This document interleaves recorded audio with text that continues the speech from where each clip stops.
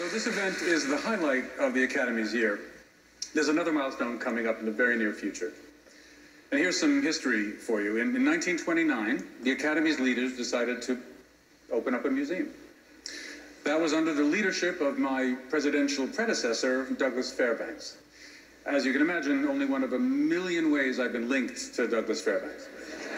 well, now, after a mere nine decades, we are about to do Mr. Fairbanks proud with a special announcement. So many wonderful people have put in their time and their effort to make a reality of this state of the art showcase of movie making. And here's one of the museum's greatest champions, two time Oscar winner, Tom Hanks.